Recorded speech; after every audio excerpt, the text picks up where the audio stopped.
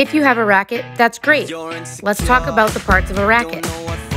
The oval part with the strings is called the face, while the part at the bottom that looks like a handle is called the grip. It's important that you know how to properly hold your tennis racket, so we're going to go over the handshake grip.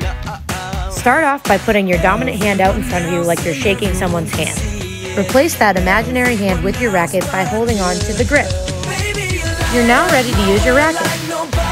A helpful tip to remember while you're practicing today is that whichever direction the face of your racket is aiming is the direction the ball's going to go. So don't get frustrated. Just simply focus on aiming the face of the racket where you want the ball to go.